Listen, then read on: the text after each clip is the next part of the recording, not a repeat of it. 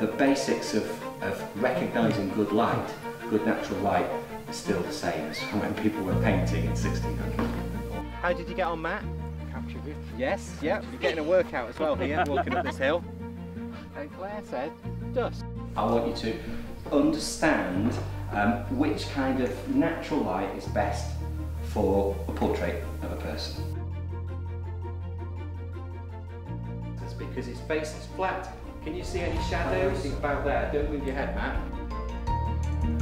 Um, okay, it's not far off it. The shadow side of Matt's face is not as dark as it was before, and the highlight side is not flat.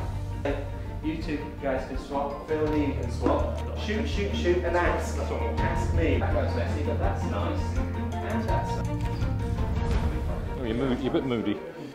Yeah? Yeah. Catch it on the right. Oh yeah, there, that's oh, that's beautiful. Mm.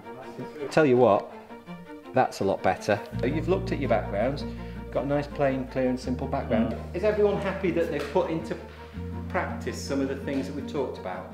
It's more even light and there's still some shadow, but it's mm. gentler shadow, so it shapes the face nicely, but it's not too harsh and that actually suits really well. Thank you. Thank you, Thanks Claire. very much. Okay, good See you luck. again, thank. Bye bye. Bye bye. Thanks very much. Enjoyed Oh, it. good. I'm so glad. Thank you. so- Oh, go. Okay, oh, just in case.